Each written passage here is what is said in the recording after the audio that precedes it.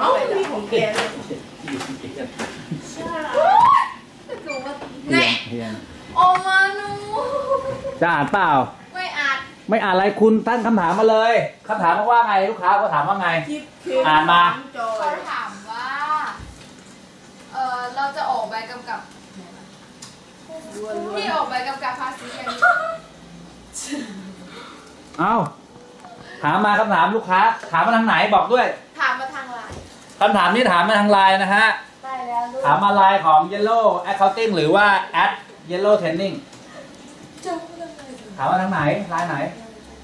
เอาไลน์ส่วนอ้าวทำไมมาไลน์ส่วนตัวได้ เอ้าก็เขาเขาดิวงานกันโดยตรงอ๋อเขาดีลงานกันโดยตรงนะฮะ ลูกค้าทำบัญชีกับคุณเอเนี่ยเขาดีลงานโดยตรงอะเขาถามมาว่าไงฮะอ่านดังๆหน่อย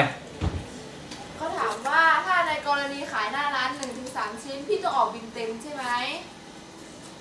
เฮ้ย ไม่ใช่คำถามนี้นะ อ้าว หอจกอะอ๋อคนละเรื่องในคำถาม มันคือในเยลโล่มีหลายคำถามแต่เอาเอาคำถามหอจกว่าออบอกว่าหอจกของพี่อะไม่สามารถออกใบกำกับภาษีอย่างย่อได้ แล้วไงอีก แล้วเขาเลยถามว่าในกรณีที่พี่ขายหน้าร้าน1นถึงสชิ้นพี่ต้องออกบินเต็ม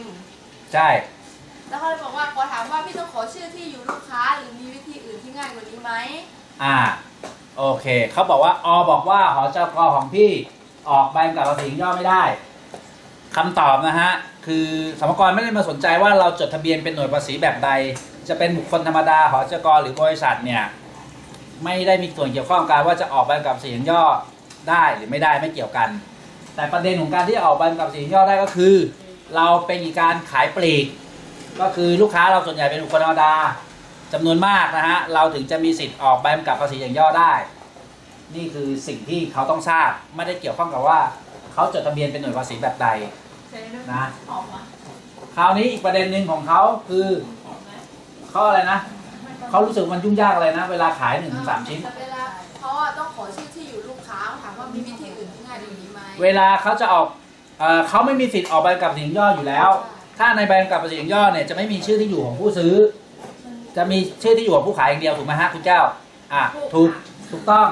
แต่คราวนี้เขาไม่มีสิทธิ์ออกใบกำกับภาษีอย่างย่อ เพราะว่าเขาไม่ได้เป็นธุรกิจค้าปลีกเขาค้าน่อง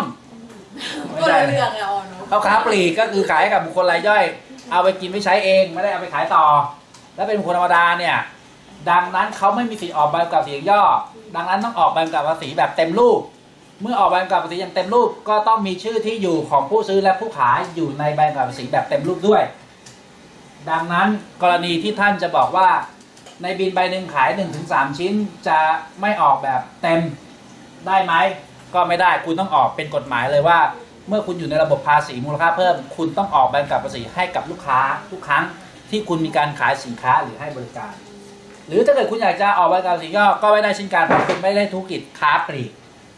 ดังนั้นคำตอบก็คือ คุณต้องทำไปแม้มันจะยากลำบากสักเพียงใด เพื่อให้คุณทำถูกต้องตามกฎหมาย และชีวิตของคุณในการทำธุรกิจ ก็จะมีความสุขตลอดไปเทิน